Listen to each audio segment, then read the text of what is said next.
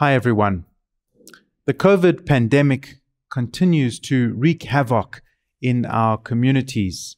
And so it is very important that at this time we do all we can to halt the pandemic. And I know you've heard this many times, but we at the Jesuit Institute really want to encourage you to wear masks, to distance, and also to sanitize. Many people are still socializing, and this is causing an even more rapid spread of this virus. So please do all you can to make sure that you protect yourself and protect others. It is also with great sadness that we at the Jesuit Institute say farewell to Father Anthony Egan. Father Anthony, after working at the Institute for many, many years, has been given a new mission. He'll be joining the Faculty of Theology at our Jesuit School of Theology at Hekima College in Nairobi from August. He was meant to have July off to have a holiday, but unfortunately has also tested positive for COVID and so is recovering and resting at the moment. Father Bruce Botha, the parish priest of Holy Trinity in Braamfontein, has also tested positive for COVID, so please keep him in your prayers. Father David Rowan, who many of you are inquiring about, is still recuperating from a massive operation he had but struggles with ill health and also cancer, and really appreciates your prayers and your concern. Now, despite the fact that the offices of the Jesuit Institute are closed at the moment, we continue to try and advocate for justice and also accompany you in this difficult time. Just last week, we launched This Is Home, a series, a campaign to try and to highlight the plight of stateless children. Children who either are stateless or will become stateless because of what the Department of Home Affairs in South Africa is doing. And we ask for your help. Sign on to this campaign. Watch the little video and also the witness of someone who is struggling because she finds herself in this position. Share this as widely as possible and we are trying, by all means, with partner organizations, to try and ensure that the Department of Home Affairs changes this legislation. We offer on Monday evenings for the next couple of weeks a half hour prayer time for anyone who wants to join online at 8 p.m. Please contact us for more information. The email address appears on your screen now. In August, hopefully, we will see this pandemic tapering off, and the Institute offers a weekend retreat Be the Architect of Your Life at Zinkwazi in KwaZulu Natal. Anybody is welcome to come to that retreat. After that, in September, from the 4th to the 12th, we offer an eight day directed retreat, also in Zinkwazi, KwaZulu Natal. A beautiful setting right on the beach with plenty of space for prayer, reflection, and rest. For more information about any one of those retreats, please contact us. The email address will appear on your screen now. And so we continue our work, we continue our prayer, and we ask you to continue supporting us because we really appreciate your support at this time. May God bless you all. Welcome to St. Ignatius Chapel. Today we celebrate the 15th Sunday of Ordinary Time. Our celebrant today is Jesuit Father Russell Pollitt.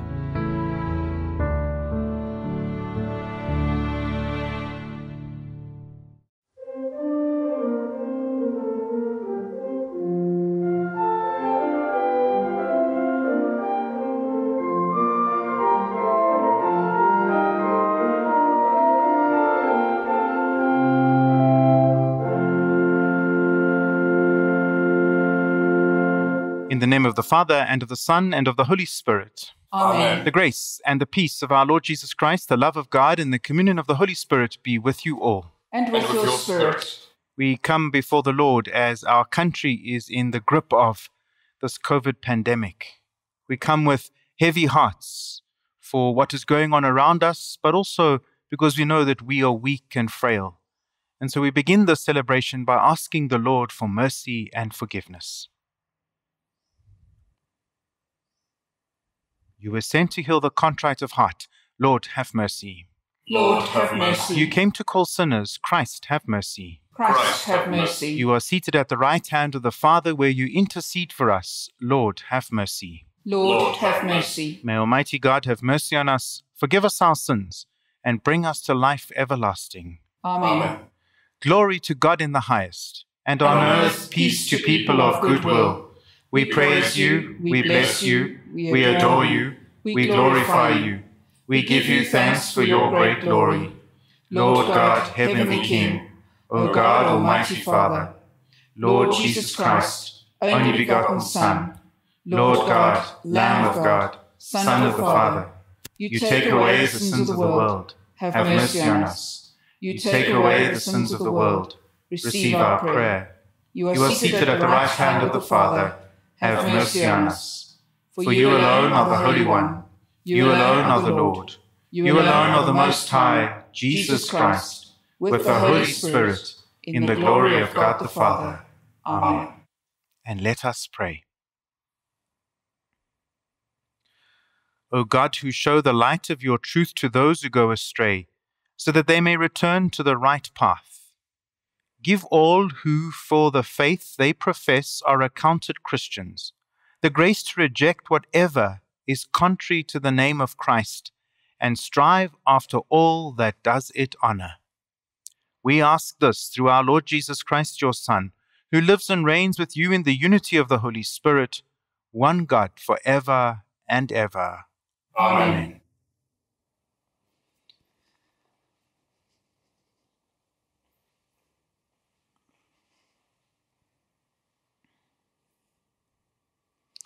A reading from the book of the prophet Amos. In those days, Amaziah the priest of Bethel said to Amos, O seer, go, flee away to the land of Judah, and eat bread there, and prophesy there, but never again prophesy at Bethel, for it's the king's sanctuary, and it is a temple of the kingdom. Then Amos answered Amaziah, I am no prophet, nor a prophet's son, but I am a herdsman and a dresser of sycamore trees. And the Lord took me from following the flock, and the Lord said to me, Go, prophesy to my people Israel. The word of the Lord. Thanks be to God. Let us see, O Lord, your mercy, and grant us your salvation. Let us see, O Lord, your mercy, and grant us your salvation. I will hear what the Lord God speaks. He speaks of peace for his people and his faithful. His salvation is near for those who fear him, and his glory will dwell in our land. Let us see, O Lord, your mercy, and grant us your salvation. Merciful love and faithfulness have met, justice and peace have kissed. Faithfulness shall spring from the earth, and justice shall look down from heaven. Let us see, O Lord, your mercy, and grant us your salvation. Also, the Lord will bestow his bounty, and our earth shall yield its increase. Justice will march before him and guide his steps on the way. Let us see, O Lord, your mercy, and grant us your salvation. A reading from the letter of St. Paul to the Ephesians. Blessed be the God and Father of our Lord Jesus Christ, who has blessed us in Christ with every spiritual blessing in the heavenly places, even as he chose us in him before the foundation of the world, that we should be holy and blameless before him.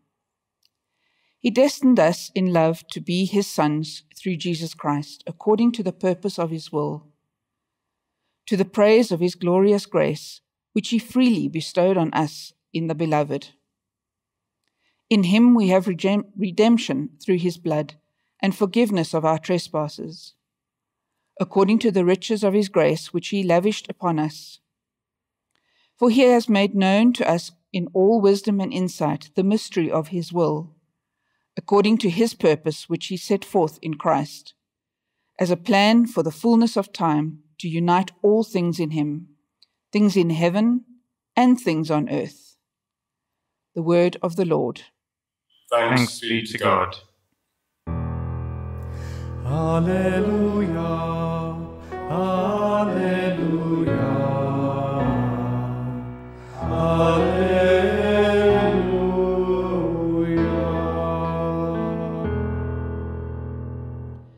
May the Father of our Lord Jesus Christ enlighten the eyes of our hearts, that we might know what is the hope to which he has called us. Alleluia, Alleluia,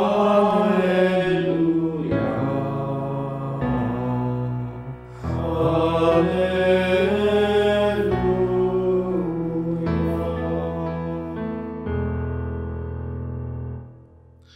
The Lord be with you. And with your spirit, A reading from the Holy Gospel according to Mark. glory Glory to to you, you, O Lord. Jesus called to him the twelve and began to send them out two by two and gave them authority over unclean spirits. He charged them to take nothing for their journey except a staff, no bread, no bag, no money in their belts, but to wear sandals and not put on two tunics. And he said to them, Wherever you enter a house, stay there until you leave the place. And if any place will not receive you, and they refuse to hear you, when you leave, shake off the dust that is on your feet for a testimony against them. So they went out and preached that people should repent. And they cast out many demons and anointed with oil many that were sick and healed them. The Gospel of the Lord.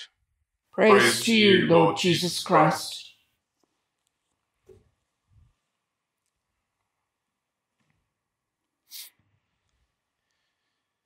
There is a story told about a century or two ago that the Pope decided that all Jewish people should leave Rome.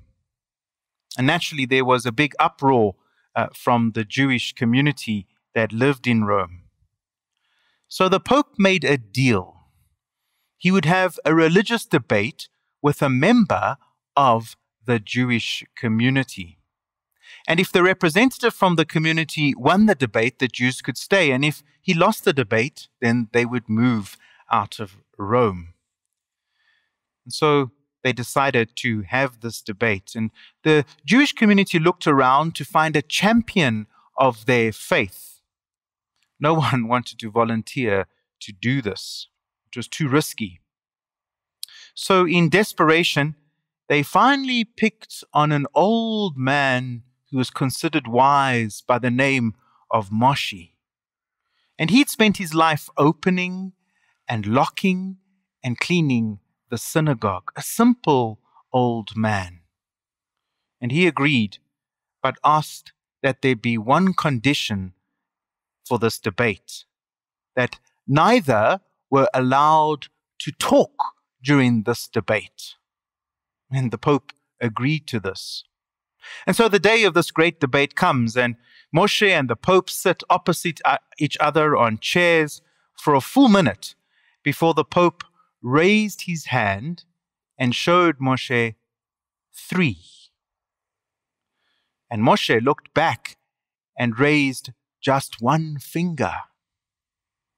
And the Pope waved his hand in a circle around his head. And Moshe pointed to the ground where he sat. And then the Pope pulled out a communion wafer and a glass of wine. And Moshe pulled out an apple. And then the Pope stood up and announced, I give up. This man is too good. The Jewish community can stay in Rome. An hour or so later, the cardinals get around the Pope because they want to know what happened. They, they ask the Pope, and the Pope said, Well, first, I held up three fingers to represent the Trinity. And he responded by holding up one finger to remind me that there was still one God common to both our religions. Then I waved my hand around my head to show that God was all around us. And he responded by pointing to the ground, showing that God was also right here with us in our midst. And then I offered the wine and a communion wafer to show that God absolves us from our sins in the Eucharist. And he pulled out an apple to remind me of original sin. I mean, he had an answer for everything, so what could I do? Meanwhile, the Jewish community called Moshe one side. They were amazed that this old man who was uneducated had won this debate. And so they say to him, Can, can you tell us what happened when you were with the Pope? And Moshe said, Well, first he said to me that the Jews had three days to get out of Rome. And I told him not one of us was leaving the city of Rome. Then he told me that the whole city must be cleared of the Jewish community. And I said, No, we're staying right here where we are now. And then a woman asked him, What happened then? Moshe said, I really don't know. He took out his lunch, so I took mine out. And then he said, I've won the debate. The Jews can stay. That's a silly little story, but it says something to us about how we read signs, how we see things, that very often we think we're on some common ground, but actually we're seeing a very different picture from our own viewpoint. Amaziah, the high priest, in that first reading, wants to get rid of Amos, the prophet, because the way that Amos sees things and the way that Amaziah sees things is completely different. Amos is an independent speaker of God's word, a former shepherd and tree trimmer. God has called him to tend to the flock of leaders and trim their luxurious and unjust ways. He has been given three visions of the destruction of Israel one of locusts, one of drought, and one which shows Israel's complete collapse. He has begged the Lord to relent, and so God does. But the indulgent leaders of Israel have continued in their ways and have not repented. They have now made the temple an unholy place. Notice how history repeats itself because leaders seem to do the same thing over and over again. Amaziah is a priest of the false sect of Bethel, and he tells Amos to get out with his false visions and predictions. He does not like the way that Amos says things.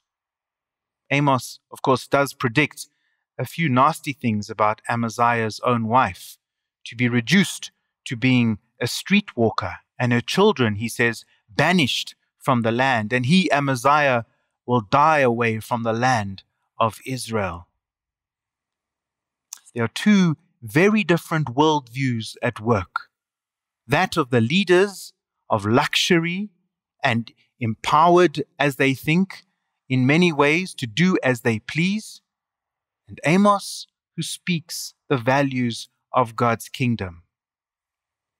In the gospel that we heard this morning, Jesus seems to suggest that there are three, for lack of a better word, visa requirements for his apostles, specific things they need to realize before they can travel simplicity of life, dependence on others and their hospitality. Notice they don't need a COVID test or a vaccine to travel. What do we learn from Amos and Jesus instructing his apostles? Because Jesus' instructions too are contrary, different to what we would expect. I want to suggest that there are a few invitations for us today. The first one is to try and free ourselves from externals. in our desperate need to be effective, to look good, to be successful, we hang on to all sorts of things, materially and psychologically and emotionally. We think that these will somehow give us the edge or make us shine, things that we hang on to. Amos and Jesus speaking to his apostles needed little of anything material or psychological or emotional to hang on to because they knew that what they had was inside them. They knew that what they had came from that store within them. The authority they had received was inside them, that authority that God had given them. They knew that they themselves, without any external trappings, were the message. And perhaps that's the invitation for us to ask ourselves how can I be the message? What might be a hindrance to me truly being the incarnation of God's message to others? does by desperate need to look good or to associate with certain kinds of people hinder me from really being the message, the person who I am, knowing that I have enough inside me because that's where God reigns in the depths of my heart. The second invitation is one about bringing life to others. Amos was interested in how God was calling Israel back to life. They had completely lost their way. Jesus, too, was interested in the healing and the recovery of people who were burdened. He sends his apostles out to those who are burdened, those who need healing. In both of these readings, we see an intervention, a confrontation, a, a direct honesty from the prophet Amos and from what Jesus asks his disciples to do. These are all difficult human interruptions, and most often the experience of casting out demons and bad spirits is not what we think it is. When we are freed from being overly concerned about our own possessions, our image, our success, we are freed to be concerned about how intervention and confrontation and direct honesty will bring life to others. We, as the apostles, are invited in our relationship with Jesus to go and confront what is not life giving so that others may have life. This is not difficult to see in our own context, where so often we see many actions, many decisions by those in leadership that are not life giving to others, but rather simply about themselves. And so we are invited, first of all, to confront ourselves to ask ourselves what we need to let go of so that we are not diminished, but rather able to give life to others. And the third and final invitation, I think, is something about reading the signs of the times in our own lives, but also in our own context. Amos and Jesus and those apostles were able to read the signs of the times. And reading the signs of the times is not where it stops, because once we do read the signs of the times, we need to recognize that we have responsibility. As much as we find it difficult, we, disciples of Jesus, God's people, are also God's instruments and Amos and Jesus and those apostles that Jesus sends knew that they were God's instruments. We must be convinced that without our response, others will not be able to achieve what God wills them to achieve. And therefore, we need to read the signs of the times and take responsibility for what it is that we see. The instructions that Jesus gives to those disciples, if you go and spend time reflecting of them, speaks of our interconnectedness, our dependence, and hospitality. Only when we are truly concerned about others and their fate, the poor on the street corners or beggars at the gate, an economic system that constantly keeps people out, an education system that is failing the vast majority of young people in this country, can we truly say that we are on mission with Jesus, wearing the sandals of the pilgrim, carrying no spare tunic, freed from pretense, and holding the staff that reminds us of our real and only need, and that is to rely on God who sends us.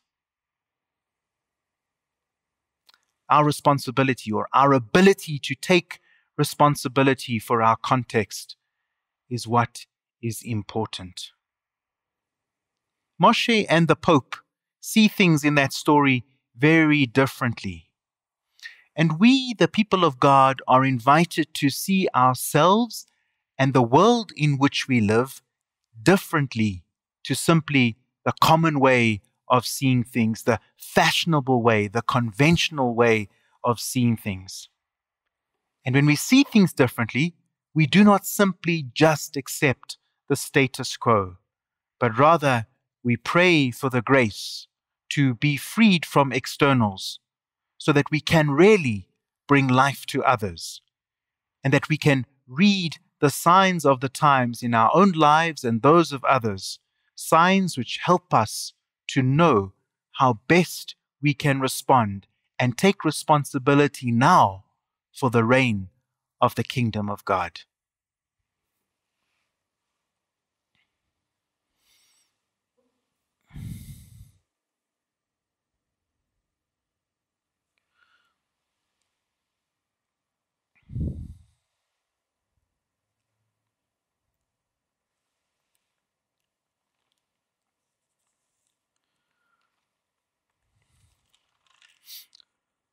Let's now make a profession of faith as we pray the Apostles' Creed.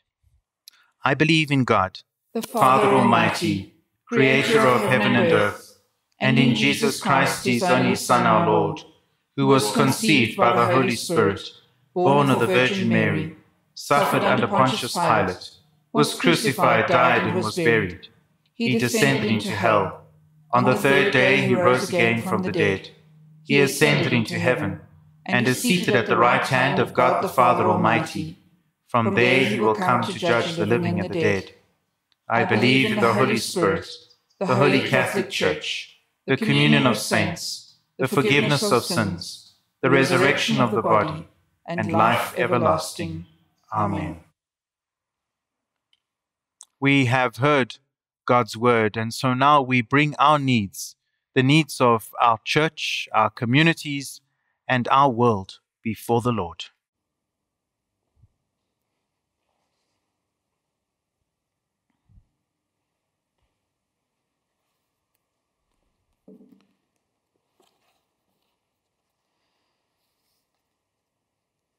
For all Christians, that they may realize that God has made them co workers in building the kingdom of God.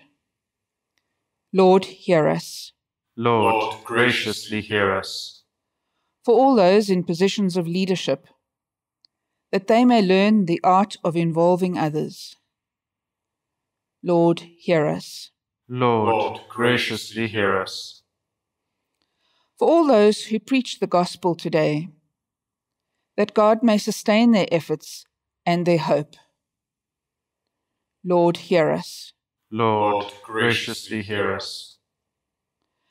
For all the members of voluntary organizations, that God may bless and reward their generosity. Lord, hear us.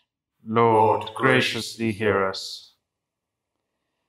For all those who are health workers who are involved in the COVID pandemic, that the Lord will continue to bless them and strengthen them as they work tirelessly, treating the sick, providing vaccinations.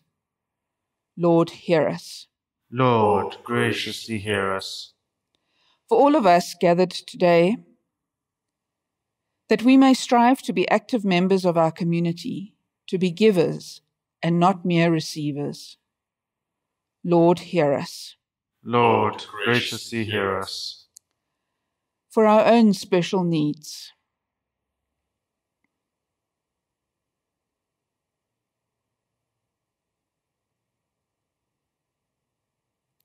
Lord, hear us. Lord, graciously hear us. Lord our God, these are our prayers, those we have spoken out loud, but the prayer too that rests in the heart of each one of us. Answer them as you know best, through Christ Jesus, your Son, and our risen Lord. Amen.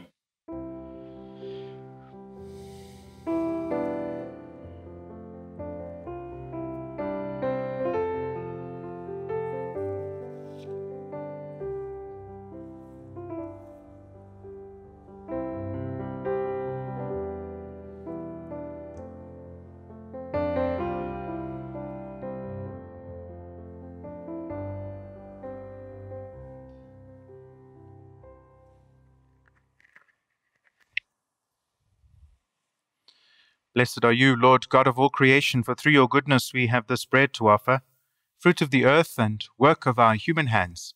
It will become for us the bread of life. Blessed be God forever.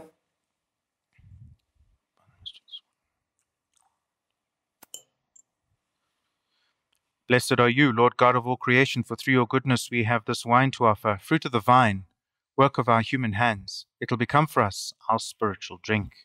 Blessed be God forever.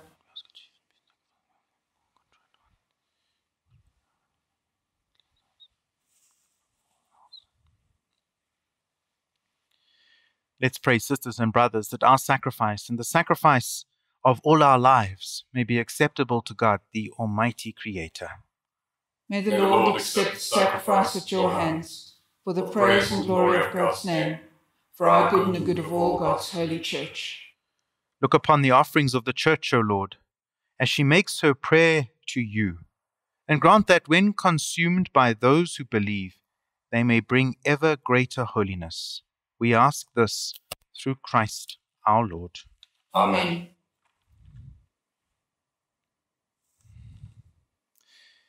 The Lord be with you.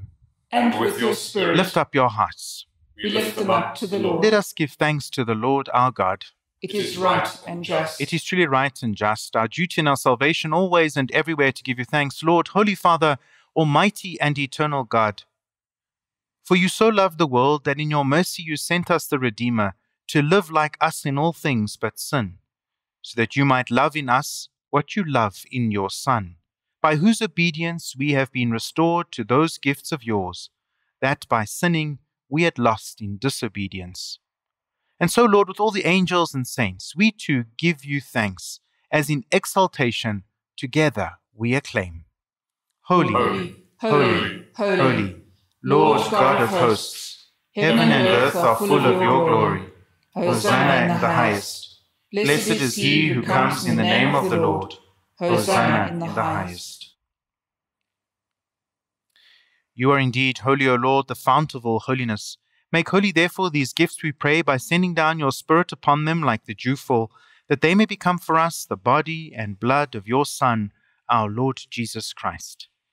At the time he was betrayed and entered willingly into his passion, he took bread, and giving you thanks, he broke it and gave it to his disciples, saying, Take this, all of you, and eat of it, for this is my body, which will be given up for you.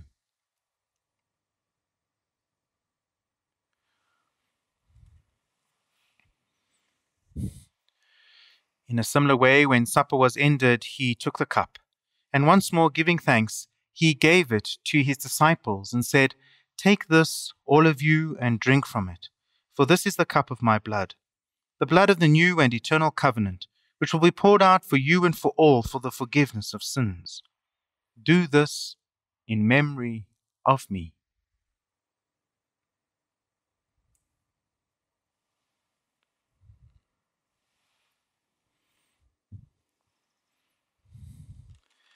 The mystery of faith. We proclaim your death, O Lord, and profess your resurrection until you come again. Therefore, as we celebrate the memorial of his death and resurrection, we offer you, Lord, the bread of life and the cup of salvation, giving thanks that you've held us worthy to be in your presence and minister to you. Humbly we pray that partaking of the body and blood of Christ, we may be gathered into one by the Holy Spirit. Remember, Lord, your church spread throughout the world, and bring her to the fullness of charity, together with Francis our Pope, Buti our Bishop, and all the clergy, and all who minister to your people. Remember our brothers and sisters who have fallen asleep in the hope of the resurrection, and all who have died in your mercy. Welcome them into the light of your face. Have mercy on us all, we pray, that with the Blessed Virgin Mary, Mother of God, with Saint Joseph, her spouse, with the blessed apostles and all the saints who have pleased you throughout the ages, we may merit to be co heirs to eternal life, and may praise and glorify you through your Son, Jesus Christ. Through him, and with him, and in him, O God Almighty Father, in the unity of the Holy Spirit, all glory and honor is yours for ever and ever. Amen.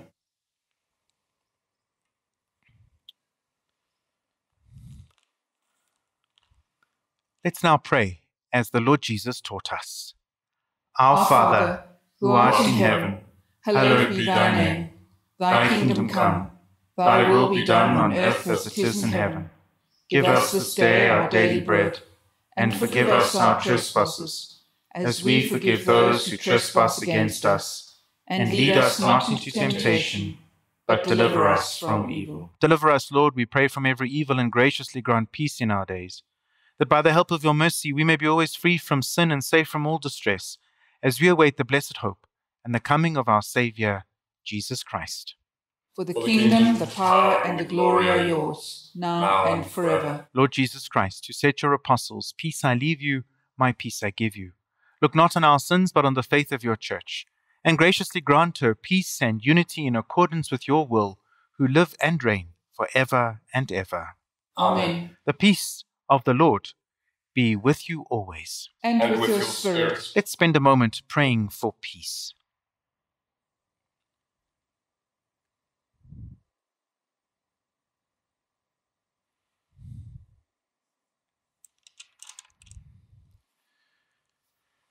Lamb of God, you take, you take away the sins of the world.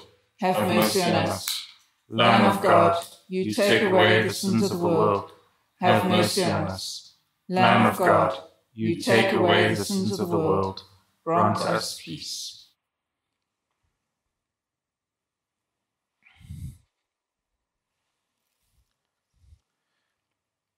Behold Jesus, the Lamb of God.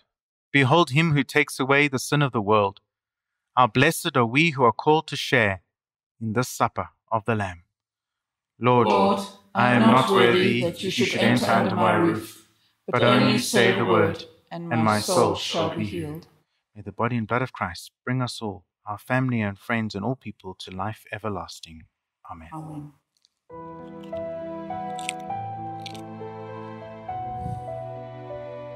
Although you cannot receive physical communion with us now, we invite you into a moment of spiritual communion.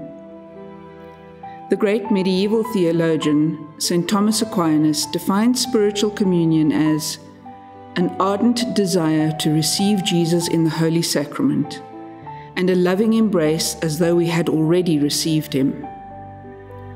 His words are echoed by the great mystic and fellow doctor of the Church, St. Teresa of Avila, who wrote, When you do not receive communion and do not attend Mass, you can make a spiritual communion, which is a most beneficial practice.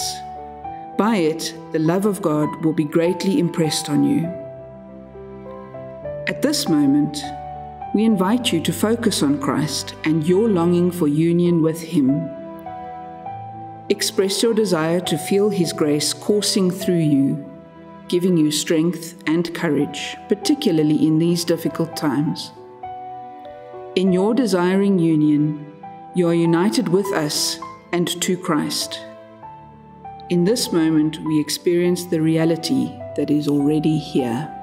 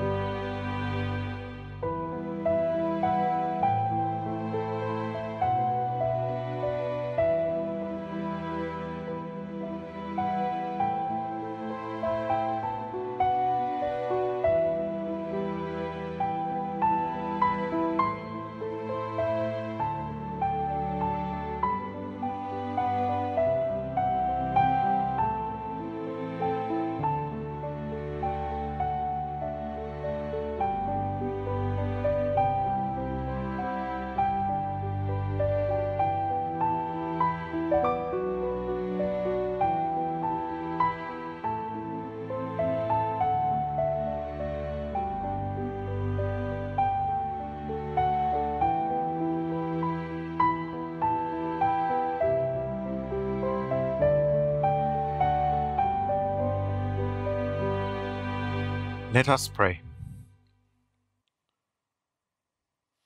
Having consumed these gifts, we pray, O Lord, that by our participation in this mystery, its saving effects upon us may grow.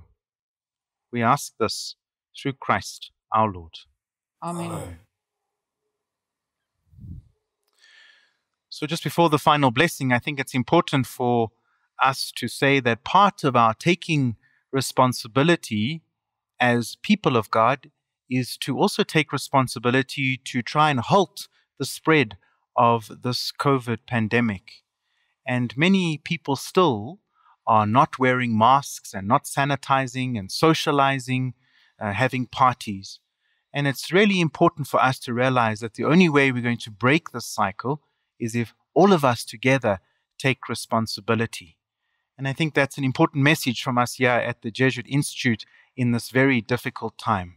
Please do what you can, and most especially, stay away from any place where you may contract or be spreading this COVID uh, virus.